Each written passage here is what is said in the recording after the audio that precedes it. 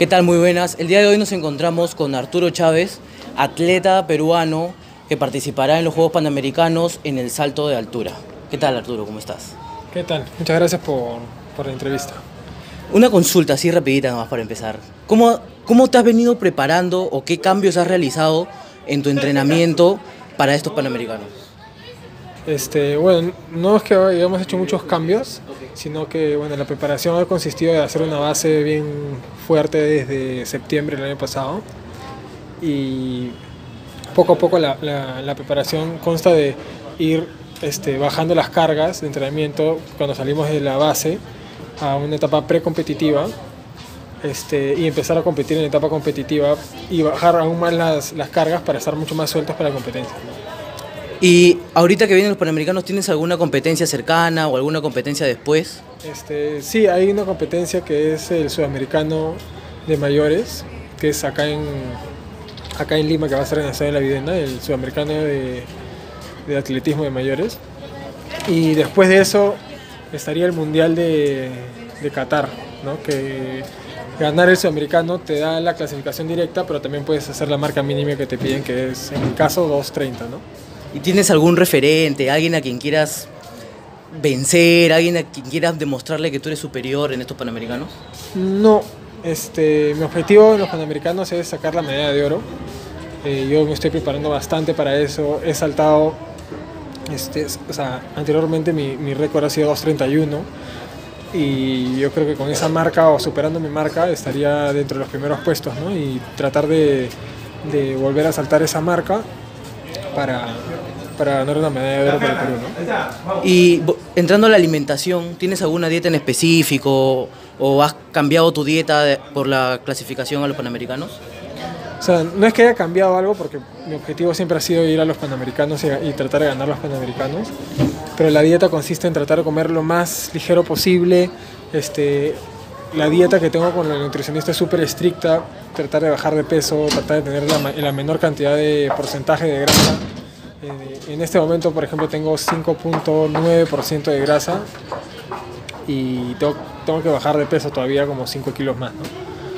¿Haces algún entrenamiento fuera del, fuera del ya marcado por tus entrenadores? No, no. O sea, todo, todo tipo de entrenamiento es este es previamente planificado con mi entrenador, ¿no? con Adbel de la Torre.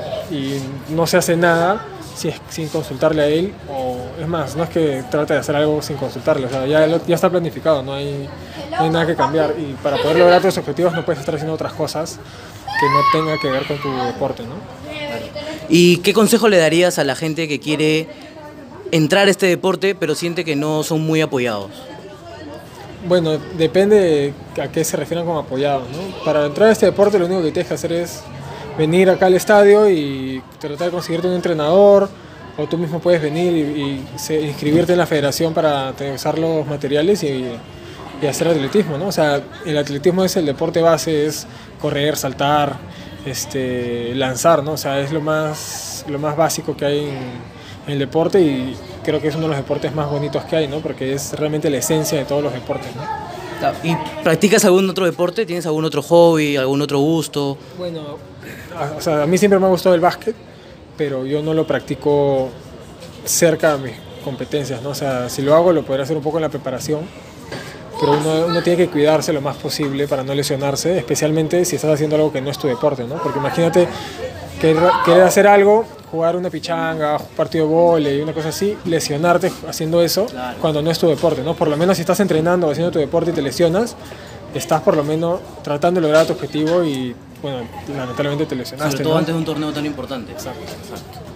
Y ya para terminar, este, ¿qué tipo de táctica o estrategia utilizas o utilizarás para romper ese 2.31 metros que lograste en México?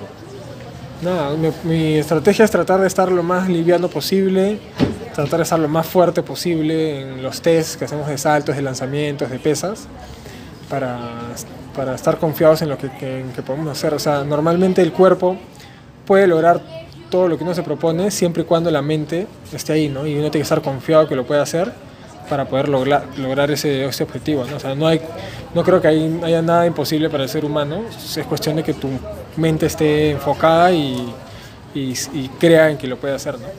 Bueno, muchas gracias Arturo, un gusto. Muchas gracias, cuídate. Muchas gracias. Estuvimos con Arturo Chávez, atleta peruano, que deseamos que le vaya muy bien y que traiga la medalla de oro para el Perú.